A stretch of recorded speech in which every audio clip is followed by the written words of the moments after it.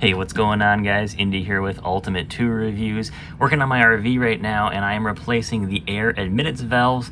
Um, I just did the one in my bathroom sink. That one was so tight I couldn't record it. I couldn't get my camera in there anywhere to really record that.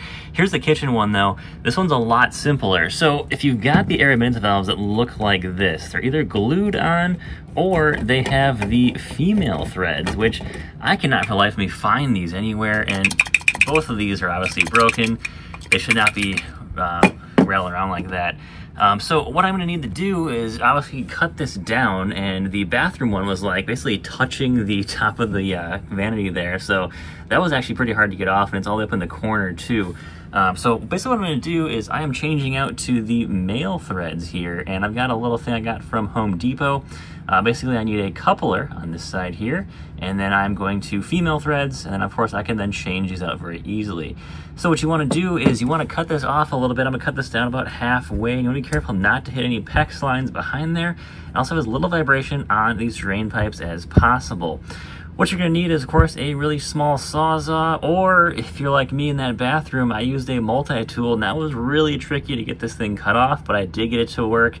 And of course, it's it's a fix, but yeah, it's RV stuff is very tight, very hard to get to. So once you have the right tools to get to it, you should be able to get to it. So let me cut this off and let's get this thing uh, removed here. And then once you get this thing removed, that's probably the hardest part about getting these things is just cut that piece off and then you can of course put in the uh, actual air admittance valves that are easy to replace with the male threads because once you have those, super easy to replace these things. And I'm doing this one pretty much before it needs to be done. So I'd say do them before you need to be done, before you got that smell coming in your RV, and then you're good to go.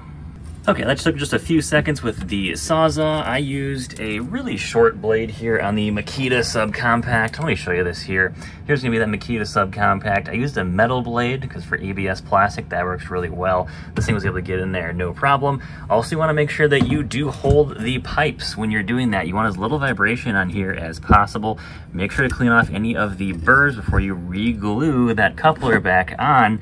And I like to make sure that I'm cutting it down far enough so when I put this thing on there, I can then get, of course, the filter back off. You don't want to glue this on and you can't get that filter back off. So this is going to be super easy now to glue on and that is all you need to do. If you got it tighter like you have in my bathroom, it's a bit more work there, but you can do it with a multi-tool, which is gonna be one of these, and I just used a metal blade to get that off there, and it definitely took a lot of effort to do, but you can do it definitely. So that's about it, guys, replacing these. These air admittance valves you can find on Amazon. I'll throw a link in the description.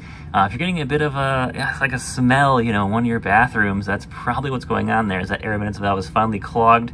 It's allowing air or sewer gas back in, so you definitely want to replace that.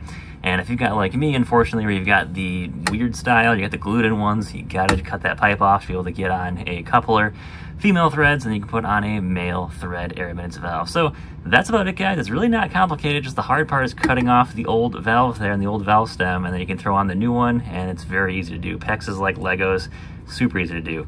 But guys, that's about it. Uh, links in the description. You want to check out the parts that I used, and have a great day. Stay safe out there.